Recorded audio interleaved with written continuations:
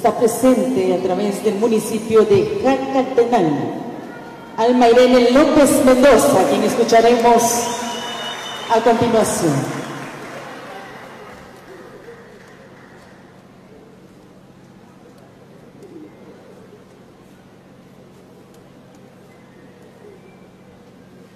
¿Qué acciones propone para disminuir la violencia contra la mujer?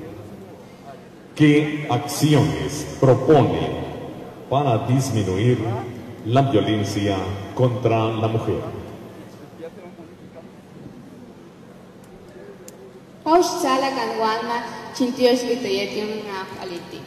Une kambawalti hauyila gay. Ashkami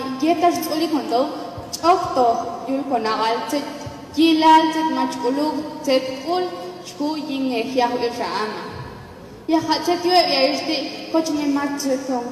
Se työ, se työ to kilniko.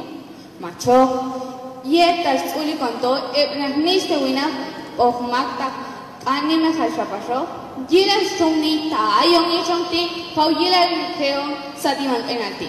Ashtam ayong ti, ayits atikowi. Chukoni sunil setettiga, shkakto hilkonawal. Ashkami, komam hauti, shakan sunil yotak alhiwa ununong winak makayabishis sunilong lanong satiwan inalti tachaltu. Zetak chukoni yung evan machat ohil ni eria irti sunil altahay. Abel nai shkotote te niste unil tayong ti macho winahong ultong satahaya irti. macho macha kok tu yei ta chal tu suni ti ichi kok et hatut bai komi komam hichmam hichmi ashkam untu ko bei bai suni rong ti lan heo satiman enan kau yu chan Es un verdadero agrado para mí poder saludarles nuevamente en este evento. Honestamente, me causa mucha pena, tristeza, decepción, tantos sentimientos encontrados al escuchar nuevamente una pregunta relacionada con la violencia hacia la mujer. ¿Por qué nos seguimos haciendo estas preguntas? ¿Es que nunca mejoramos en ese aspecto? Me duele tanto que como mujeres llenas de inteligencia, capacidades, habilidades y poder de desenvolvimiento nos sigan menospreciando. Las acciones que se deberían tomar para disminuir la violencia hacia la mujer como todo aspecto decimos que parte desde la familia, que los papás, que los abuelos, que los hermanos nos deben inculcar a que respetemos. Pero todo esto viene también desde nuestra cultura, porque los abuelos y abuelas nos han enseñado a respetar a cada uno de nosotros, porque nadie es más que nadie. No porque seamos hombres podemos más que las mujeres, no porque seamos mujeres podemos más que los hombres, no. Aunque también me llena de tristeza saber que incluso entre mujeres nos hacemos daño. ¿Dónde quedó la sororidad? ¿Dónde quedó el amor al prójimo?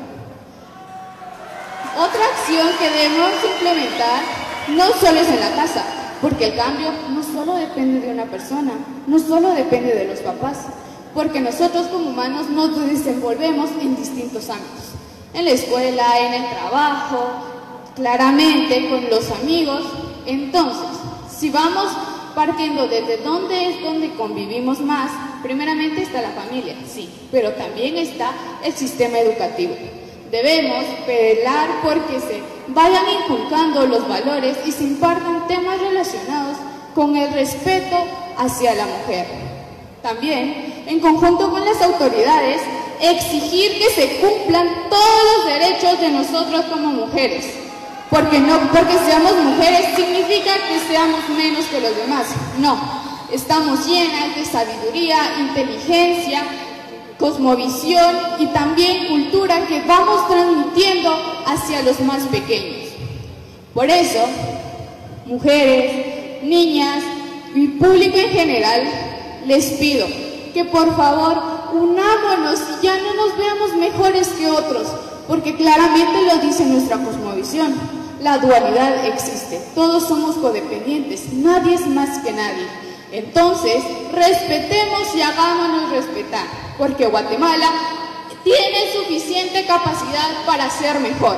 como pueblos indígenas, demostremos que no somos inferiores a los demás y que podemos entender la valiosa que es la mujer, todo el valor que se encuentra en una sola persona, en un solo ser, y encaminémonos hacia la luz y el verdadero desarrollo de Guatemala. Muchas gracias.